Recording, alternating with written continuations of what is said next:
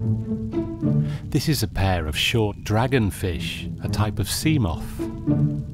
Sea moths are related to seahorses and pipefishes and share their long snout, although their mouth is under the snout. The body is encased in a hard, rigid carapace, while the tail is made of segmented rings to allow it to flex. They are highly active during the daytime, walking on their pelvic fin rays while hunting for small invertebrates. Usually seen in couples, sea moths are monogamous and bond closely with their mate. They shed their skin in a single piece every few days to clean themselves of sessile organisms like algae and hydroids. It has been estimated that millions of sea moths are collected each year for use in traditional Chinese medicine.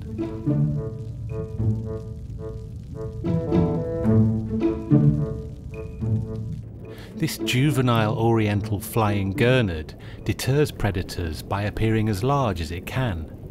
The false eye spots on its pectoral fins make it appear like a much larger fish from above. Like sea moths, gurnards also walk across the seabed on their pelvic fins. In adulthood, the pectoral fins become huge and lose most of their blue spots. They can be retracted for a burst of speed if necessary. It also gains more red around the face, which suits its alternative name of sea robin. Members of the family are also known as helmet gurnards because of the strong armour surrounding the head. The word gurnard is derived from the French word to grunt because of the strange sounds it can make. Over 700 species of fish are known as blennies, and some 400 of these are comb-tooth blennies. One such variety is the starry blenny, which usually lives amongst rocks where it feeds on algae. Its interesting appearance and strong personality make it popular in the aquarium trade. By far the largest comb-tooth blenny is the hairtail or snake blenny. This blenny can reach over half a metre long and burrows its body into the sand or mud, much like a snake eel. It feeds at night and is rarely seen out of its burrow during the day.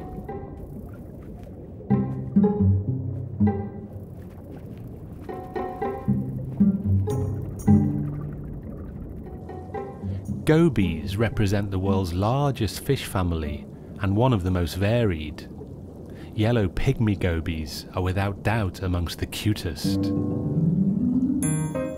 They are usually found in pairs and traditionally seek refuge in natural shelters such as empty shells.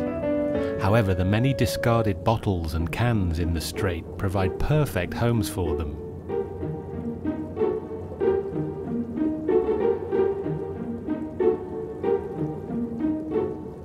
The gravid female's eggs can be clearly seen in her swollen belly. The gobies appear to exchange signals by prodding the other's tail.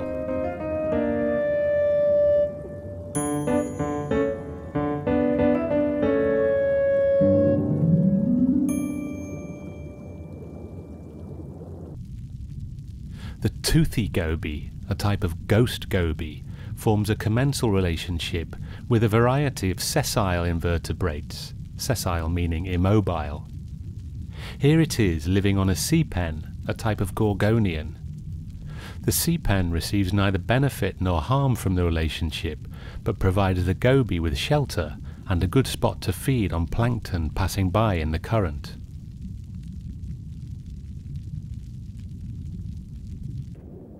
These war paint like facial markings belong to a male fingered dragonette.